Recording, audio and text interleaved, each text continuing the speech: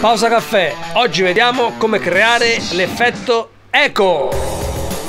Tra l'altro a mezze maniche perché inizia a fare caldo. Andiamo subito su Premiere. Mi avete chiesto di, di vedere come realizzare un effetto eco o un reverbero. Adesso vi faccio vedere anche le differenze.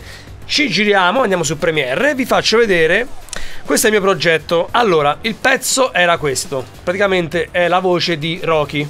I vigliacchi fanno così e tu non lo sei! Non lo sai affatto! Io avevo la necessità di creare un effetto eco sopra l'ultima parola. Modifica clip in Adobe Audition.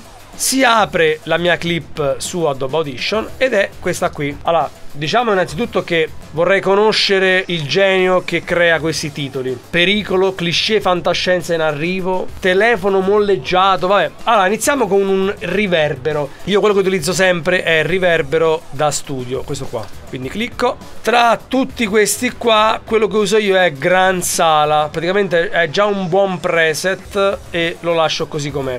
Quello che però avete ascoltato nel video della Panasonic è questo qui, Eco, e poi Delay analogico. Do applica e avrete quel bellissimo effetto continuo. Non lo sai affatto, non lo sai affatto, non lo sai affatto, non lo sai affatto, non lo sai affatto, non lo sai affatto, non lo sai affatto, non lo sai affatto. Fatto questo, me la S, apro Premiere, semplicemente mi ritrovo quello che, che ho fatto prima. Veloce, facile, intuitivo.